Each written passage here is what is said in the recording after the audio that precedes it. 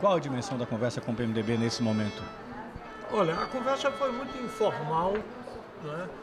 até de certa forma superficial, e agora nós temos que prestar atenção a duas datas. Uma, 12, quando possível, possivelmente o senador Eunice anuncie sua candidatura, e dia 30 de abril, que é um prazo que ele estabeleceu, segundo nos informou, para definir a sua candidatura. Qual seria o cargo que o PR, o PR pega? Não, não cogitamos de discussão nesse sentido. Uma conversa, é, vamos dizer assim, amistosa, mas muito preliminar. Primeiro é preciso que se defina como candidato o senador Eunício.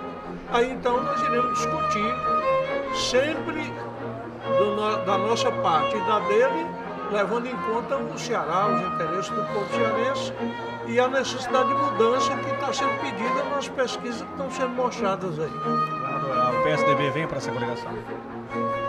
Olha, eu, eu mesmo não tenho informação sobre isso, mas eu acho que é uma hipótese bastante provável.